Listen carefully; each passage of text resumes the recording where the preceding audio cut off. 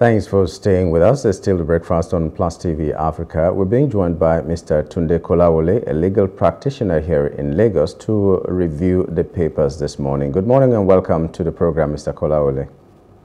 Thanks for having me, my brother. Mm.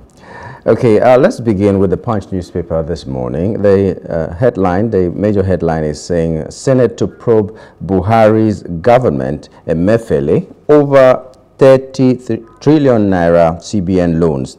The riders are Senate links food security crisis to reckless ways and means loans under Buhari's cabinet. And then panel to investigate CBN's 10 trillion naira anchor borrower scheme, 24 billion dollars forex fraud and others. Your take on that?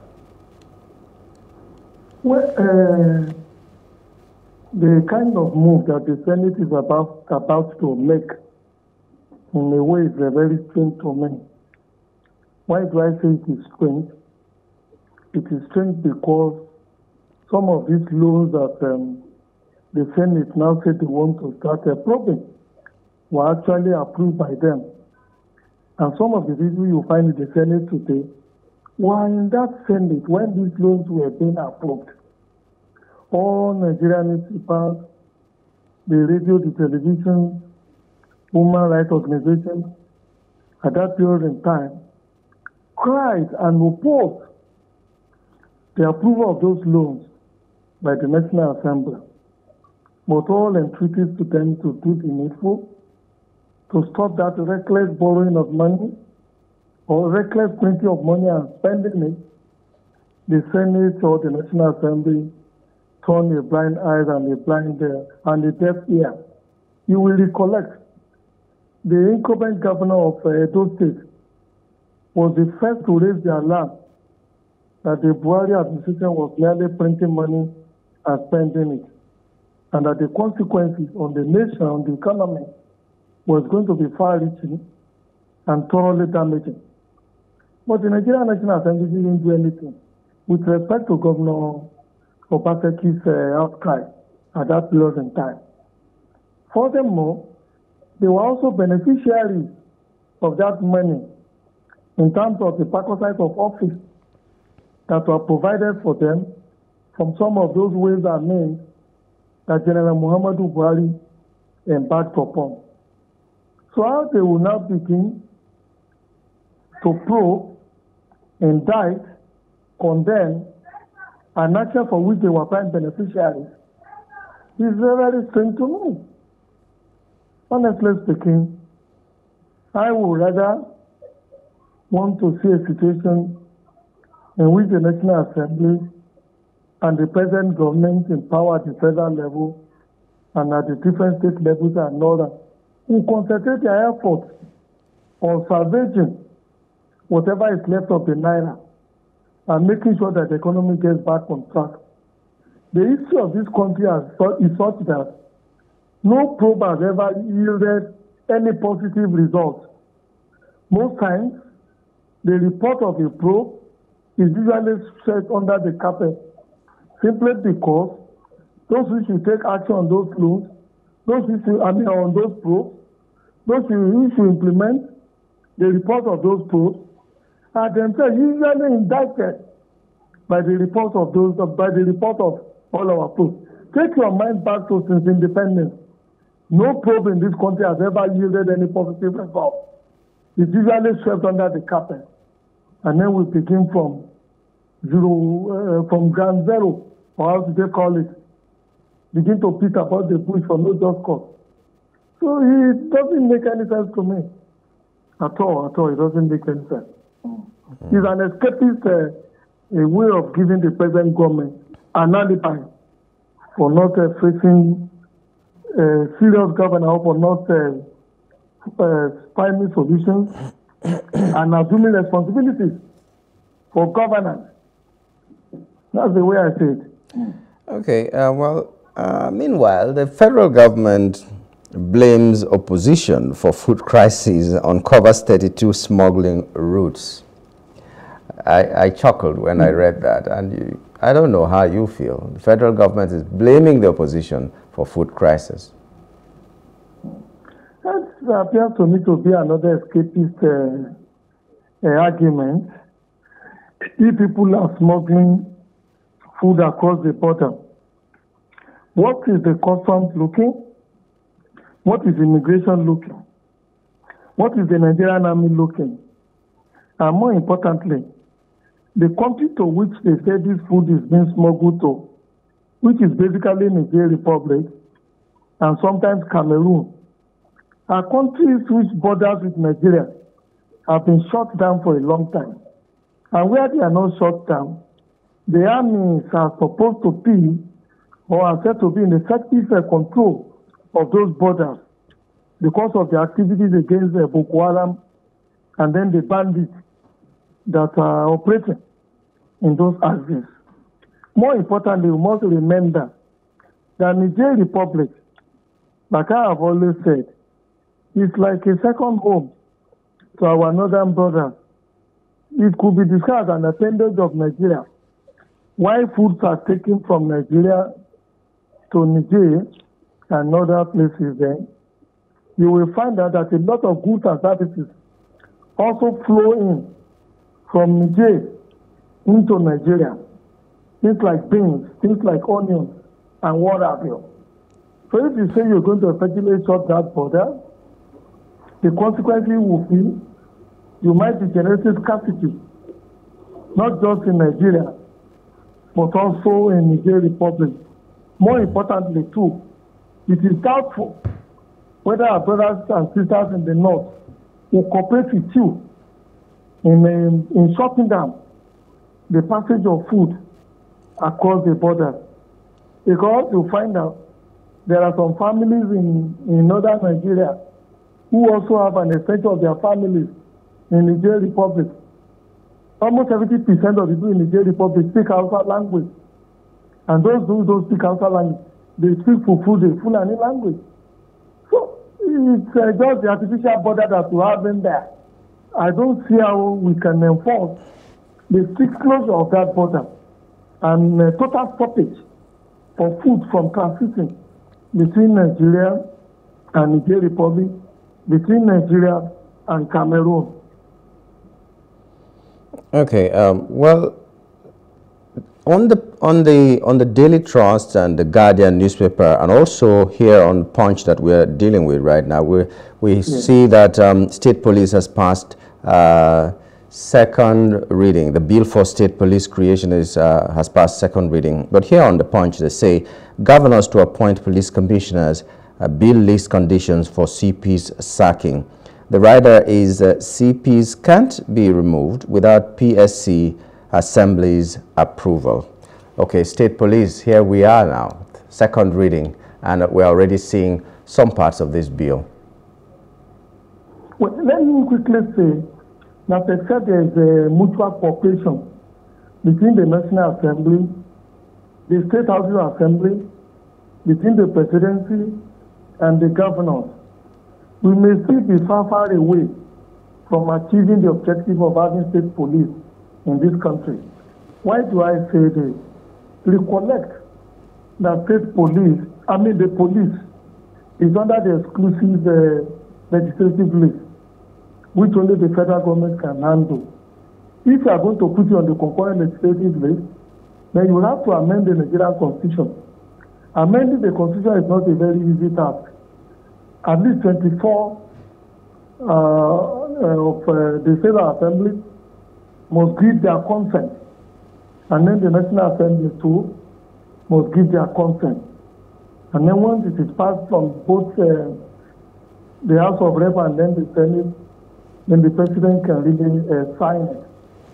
So except they cooperate between themselves to give it a kind of accelerated uh, approval at both the state level and the federal level, we may still be very, very far away from it.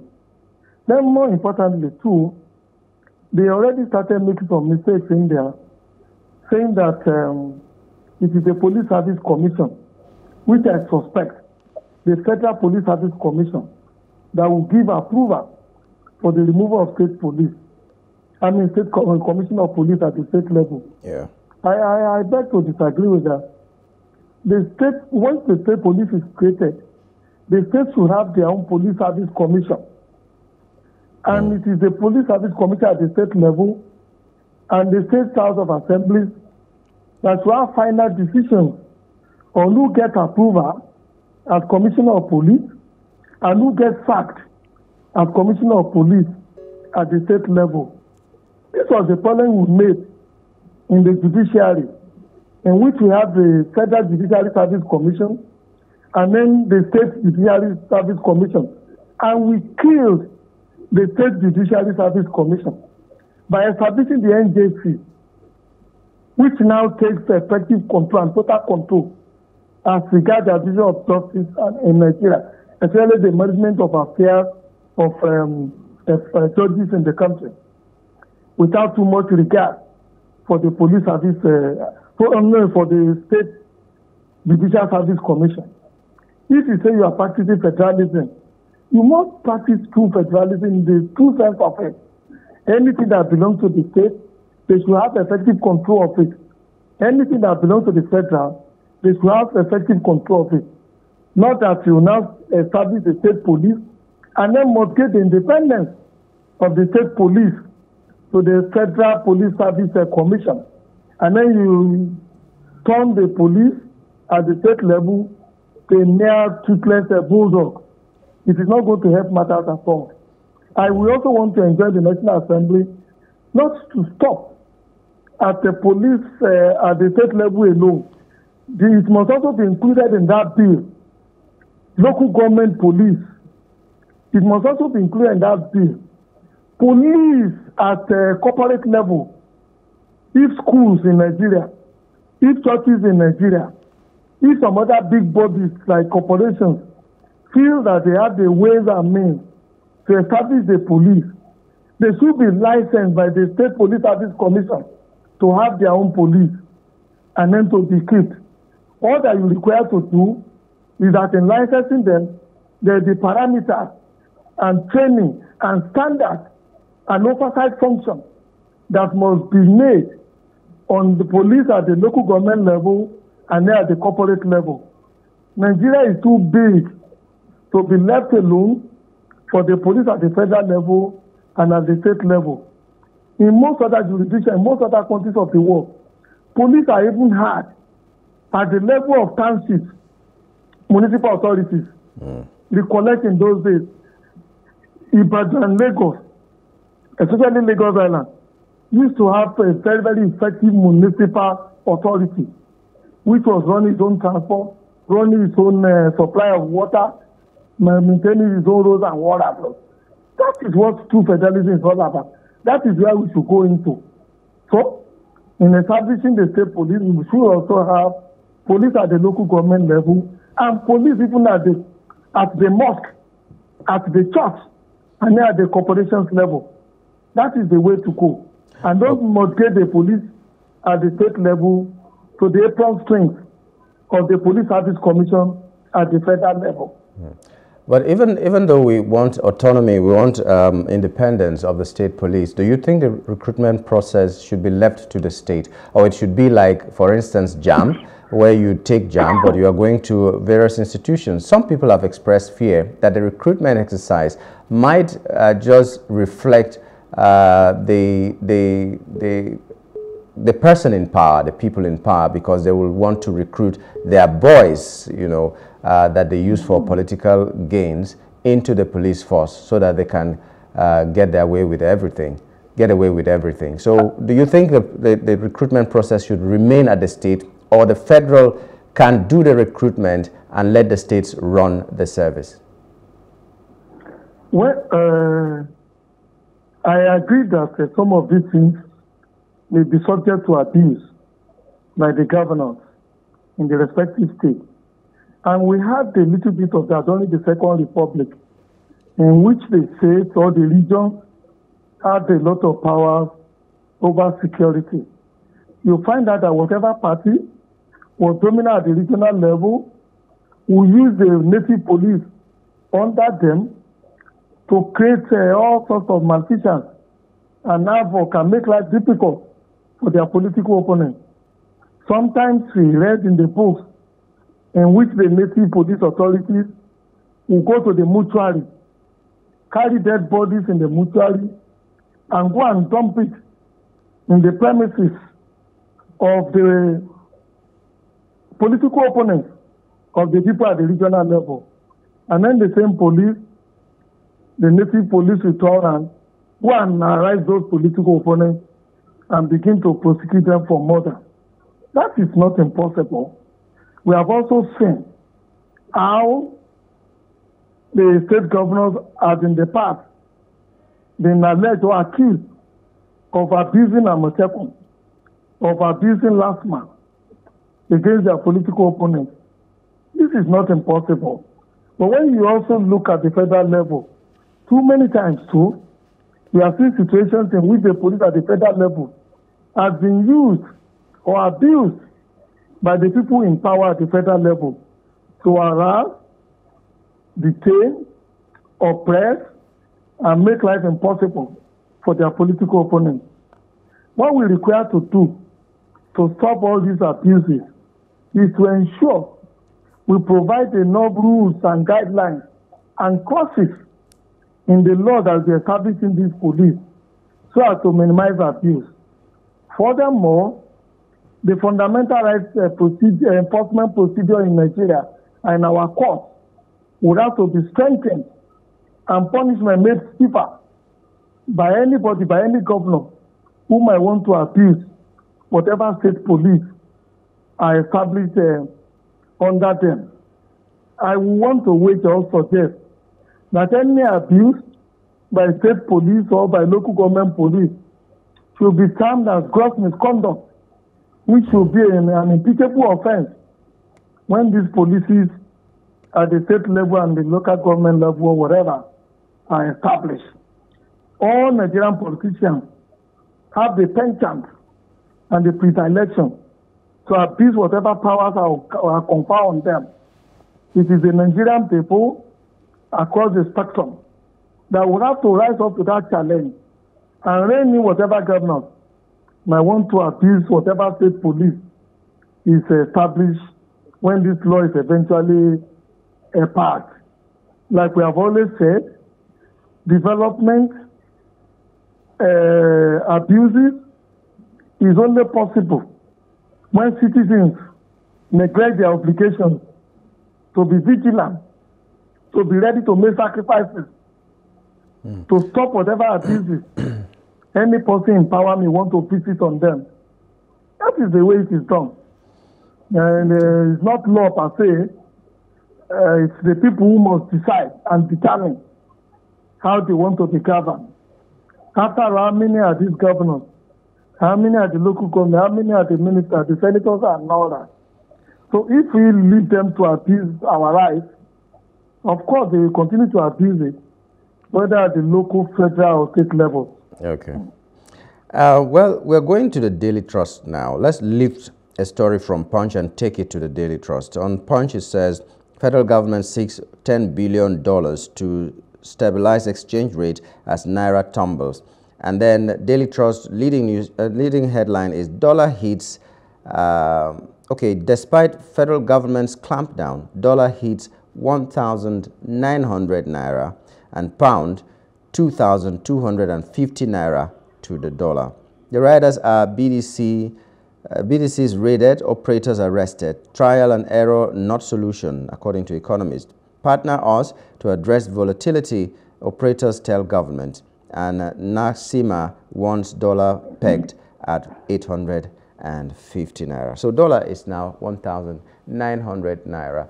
Just Tuesday, we were alarmed that in one week it moved from 1,600 naira to 1,730 naira. But in two days, it has risen from 1,730 naira to 1,900 naira. Who knows what will happen at the weekend? See, my brother, hmm? My brother, let's uh, take note of what I'm going to say. This guy is not taken, the naira is on the way to becoming another Zimbabwe dollar. That when you want to buy maggi, you want to buy pepper, you want to buy onion, you would have to take millions to the market in fact to buy those items. Why is it so? What determines the value of a nation's currency is the level of productive activities in those uh, in the country, not regimentation. You cannot begin to dictate how much your currency will be valued. And the fact that all the efforts that the federal government has put in place recently has not helped the naira. She saw the people in government that regimentation, this uh, uh, quartermaster approach to managing a nation's currency will not solve the problem. We have to look at our productive base, ensure that we begin to become more productive. We also must cut down on the cost of governance and all that. All the measures that they are putting in place today were measures that General Buhari tried when he was Minister Head of State, I think between 1984 and 1985. It didn't work. He also tried to redenominate the Naira at that period in time. It didn't work. On becoming a civilian president, he also tried to redenominate the Naira and then also change the color and water. Did it work? It did not work. Furthermore, when a nation is facing the kind of uh, challenges that we are facing, you are having wars in your hands. We are fighting Islamic uh, insurgency. Uh, we are fighting banditry. We are fighting kidnappers and have you. What such nations usually do is to adopt or go into a war economy in which you streamline a lot of things, cut down a lot of spending, look at ways and means in which some of the things that we import, you stop importing them and begin to produce them internally. Look at a country like Ukraine. It's been fighting war for more than uh, one year now with a world power, with Russia. And yet, Ukraine is still exporting grain wheat, rice, and what. The country also announced recently that it has manufactured a ballistic missile that can travel as far as 750 kilometers and that can hit any time in Russia. That is a war economy. Without a war economy being put in place, they will not be able to do that. So, if this government also wants to cut down and then make sure that Naira gets back its value, they would have to prune down the policies and programs that they want to implement. I have advised that this government should just concentrate on agriculture. They should just concentrate on uh, security. They should concentrate on maintenance of existing infrastructure. They should concentrate on PHC and power supply, and of course education. All the other things for now to be put in abeyance until we get it right or until we get the health or until the economy gets recovers its health status. Anything short of that is never likely to be helpful. Furthermore, look at the ostentations going on in the National Assembly, going on at the federal level, going on at the state level. For the past uh, six months or thereabouts, all the states, all the local governments are getting good, good money from federation account. Has it translated into anything, uh, into any improvement in the well-being of the people at the state level and at the local government level? The answer is no. This is what the government should be looking at. And also it should be paramount to the government that the four refineries that we have in this country, there is no alternative to those refineries. Let's get those refineries working again. Dangote refinery will not solve our problem. Dangote refinery will operate like any refinery in Dubai, like any refinery in Russia, like any refinery in the United States of America. It is sell at very competitive international market rate and not otherwise. So, all these Bretton Woods uh, and World Bank and IMF approach to solving the problem of the Naira is never likely to help us at all. Okay, um, let's take this uh, you know that there, there was a truck intercepted, uh, like we find in um, in uh, Nature News, Zamfara government intercepts 50 trucks of grains heading to Niger, or Niger rather. So on this yeah. daily trust, they say customs subsidizes, distributes seized food items, uh, partners uh, uh, media trust. Okay, so now the, the, the, the plan is to, to distribute the, the, the trucks of, or the food that was seized to people in Nigeria and I'm just, I'm just, I don't know. Food has been seized. They say it is illegal smuggling, and then they are going to distribute it to Nigerians in the coming days. Five trucks of food. You see, when you embark on the things, things like a price control, things like banning of uh, freighting of uh, food from one place to the other another, what you get is kind of a black market. A new underground market will emerge, which will now begin to operate and blossom, such that when this problem are solved, it is difficult for you to rein in or to stop those underground markets that would have become well entrenched and established. Smuggling is an activity, a universal activity all over the world. The solution to smuggling is availability not banning, not price regulation, not suppression of uh, people from engaging in their ordinary commercial activities. And then the crude way by which we are going about it, confiscating these items and then distributing them without following due process of law. I'm not comfortable with it. Both government and individuals ordinarily should obey their own laws those food items must have been purchased by some people. Mm. They have paid for it. And if they bought those and then they paid for it legitimately, they are entitled to have those goods supplied to them. If we investigate that a due process has not been followed in the purchases of those items, then you can engage in the kind of activities the custom is said to have engaged in. And not because you have a problem of supplies at home. Yeah. Then you begin to confiscate and commandeer. Yeah, because that's what my fear is. That's my fear because uh, it is coming at a time where government is calling anybody who is saving food in the house or keeping food in the house as hoarders. They say uh, you cannot take food outside. You cannot keep food in your in your in your exactly. in your barn or anything. So that we don't even know what really this is, whether it is smuggling or not. Mm it's disturbing. It's disturbing. Uh, I don't think uh, if a man has envisaged that there's going to be scarcity of food mm. and uh, he has taken steps to stockpile food to guarantee food security for his uh, family, or if a farmer feels that uh, he wants to make better profit from whatever proceeds come from his farm, and he puts those proceeds or uh, products in some silos and storages and all that. I am not too sure that the law allows you to go and confiscate and commandeer whatever he may have kept for his own uh, well-being and born out of his own uh, sweat. You must make a law before you can appropriate or take that away from him.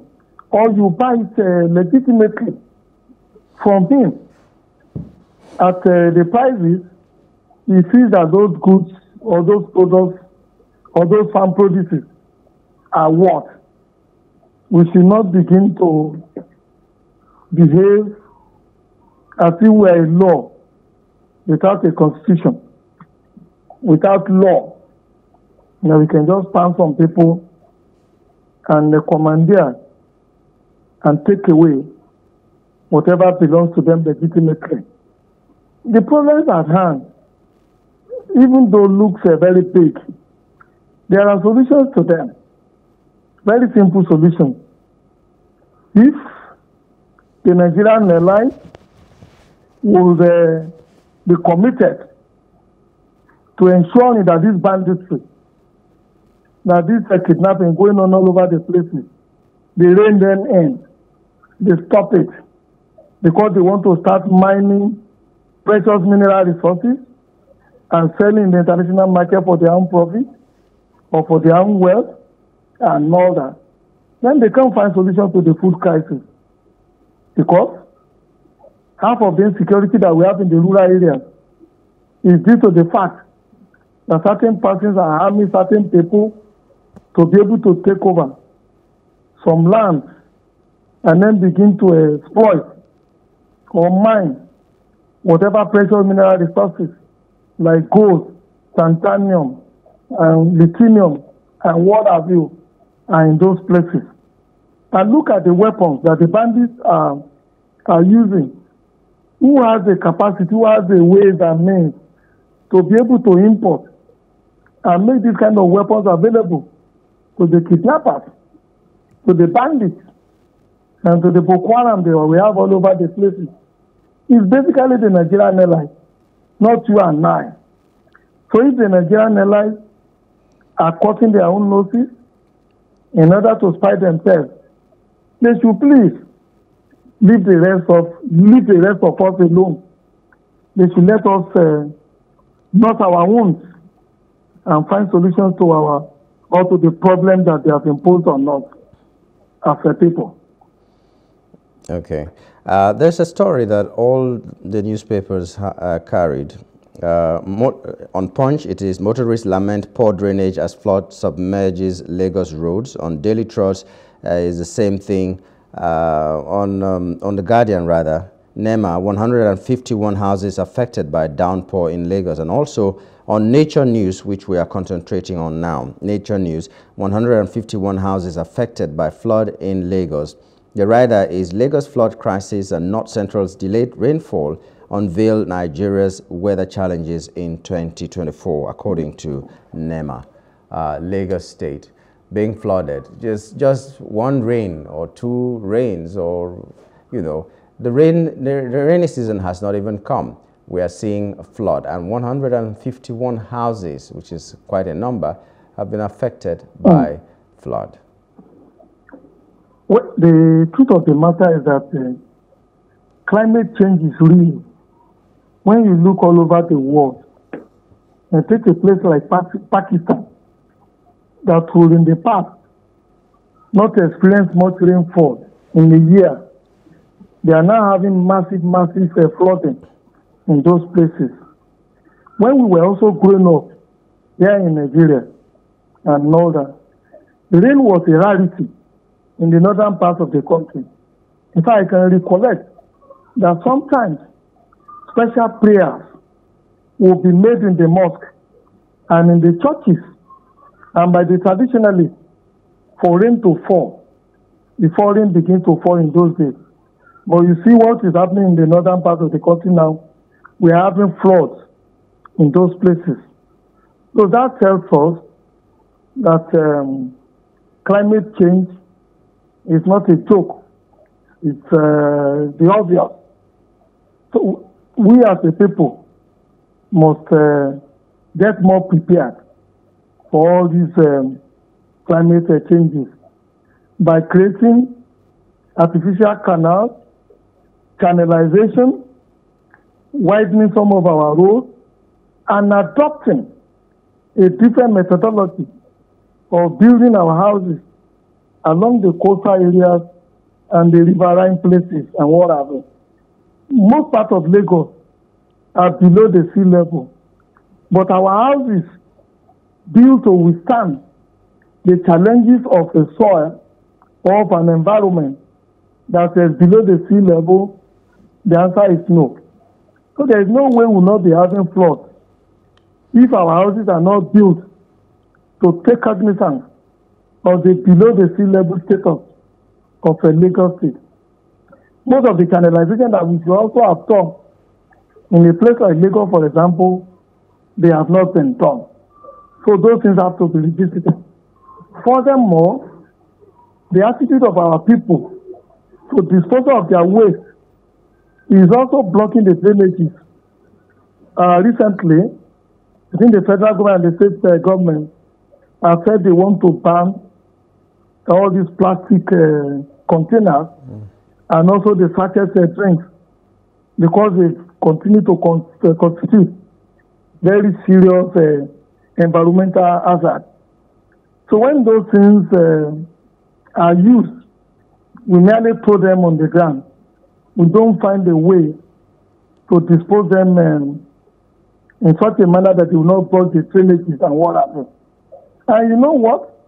The system of those things take about a hundred years before they can decay, before they can biodegrade, before they can um, uh, degenerate and then turn to soil again.